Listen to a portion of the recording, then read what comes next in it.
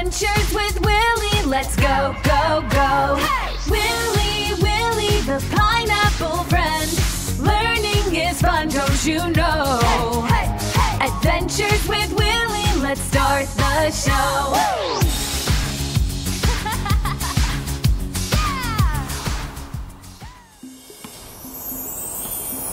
Pineapple Willy's presents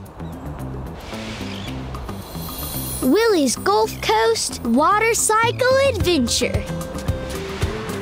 Aloha, beach buddies! It's your pal, Willy the Pineapple.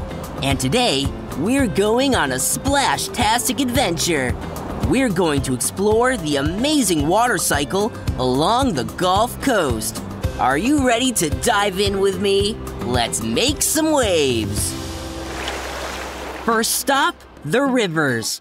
Rivers are like nature's water slides, carrying fresh water all the way to the ocean. Here in Northwest Florida, rivers start high up in the hills and make their way down, picking up water from rain and streams. Woo! Look at that water go! Next up, lakes. Lakes are like giant bathtubs surrounded by land that hold water from rivers, rain, and underground springs. They're perfect for swimming, fishing, and even relaxing. And guess what? Some lakes are so clear you can see all the fish swimming around. How cool is that? Check out these springs, beach buddies.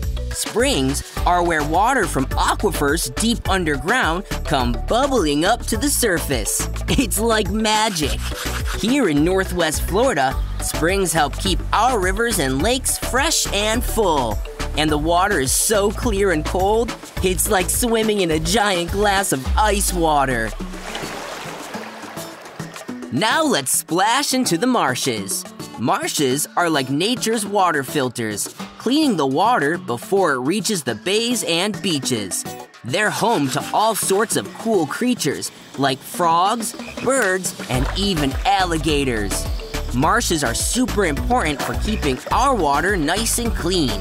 They also help by keeping waves from storms and hurricanes from causing too much damage by slowing them down. High five for the marshes!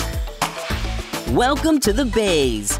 Bays are where fresh water from rivers meets the salty ocean water, also called an estuary, and creates what's called brackish water.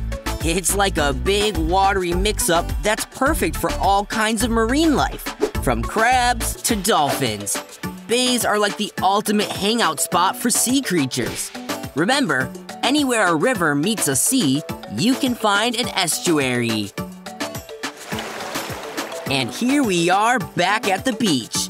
The beach is where the water from rivers, lakes, springs, marshes, and bays finally ends up. This large open area allows for bigger organisms to survive and thrive. But the adventure doesn't stop here. The sun heats up the water, turning it into vapor that rises into the sky. That's right, the water cycle keeps going and going.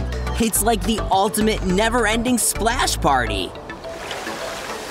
Wow, what a journey we've had today! We've explored rivers, lakes, springs, marshes, bays, and beaches, all connected by the amazing water cycle. Remember, beach buddies, every drop of water is super important. Let's all do our part to keep our waters clean and beautiful. Quiz time! What is brackish water and where can you find it? Brackish water is a mix of fresh water and salty ocean water. You can find it in places like bays, where rivers meet the sea. It's the perfect spot for animals like crabs and oysters to live. How do lakes get their water? Lakes get their water from rivers, rain, and underground springs.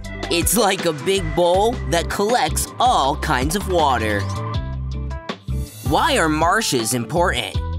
Marshes are super important because they help clean the water and provide a home for cool animals like frogs and birds. What happens to water when the sun heats it up at the beach? When the sun heats up the water, it turns into vapor and floats up into the sky, starting the water cycle all over again. Until next time, keep exploring, and remember, where there's water, there's always an adventure. Adios, beach buddies!